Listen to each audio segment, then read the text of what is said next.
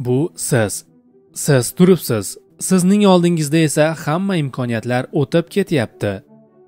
Siz bo'lsa o'tirib kutyapsiz, kutyapsiz, kutyapsiz. Keyingi safar, yo'q, keyingi safar.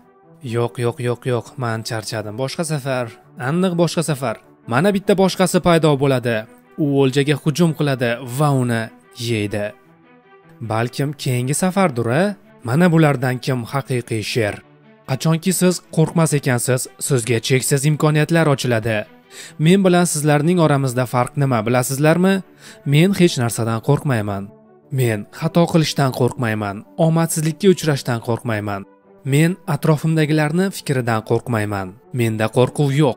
Agar sizga qo'rqish kerak bo'lsa, bu hayotda o'zingizdan hech narsa qoldirmay ketishdan qo'rqing. Biz deyarli har doim hammasini keyingi safarga qoldiramiz. Atrofdagilar bizga nima deyishidan qo'rqamiz. Ishoning bu hammasi illyuziya. Bular bizni hayotimizni zaharlaydi.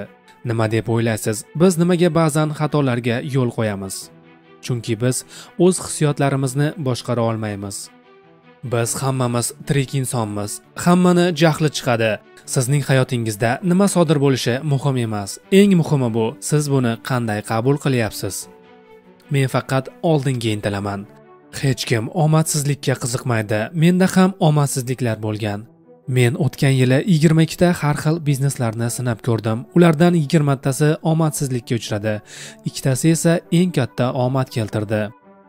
Hamma faqat muvaffaqiyatni xohlaydi. Omadsizlik bu mumkin emas. Shuni bilingki barcha xatolar bu tajriba. Bu tajribalar esa ertami kechmi sizni muvaffaqiyatga olib keladi.